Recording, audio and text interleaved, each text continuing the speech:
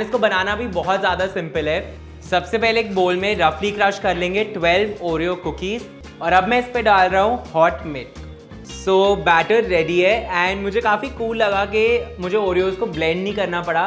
गरम मिल्क की वजह से वो प्रॉपरली मेल्ट होके स्मूथ बैटर बन गया है। ऑल्दो आई फील ये काफ़ी ज़्यादा पतला बना है but I am still going to transfer it into my ramekins now यहाँ पर मेरे पास डार्क चॉकलेट के क्यूब्स है एंड मैं इनको लावा केक के सेंटर में डालने वाला हूँ and now it's time to put them in the oven so looks wise ये बहुत अच्छा लग रहा है but now the real test के इसका सेंटर चॉकलेट लावा होगा कि नहीं fingers crossed for that So the lava is there. This recipe has cleared that test at least. Now let's taste it.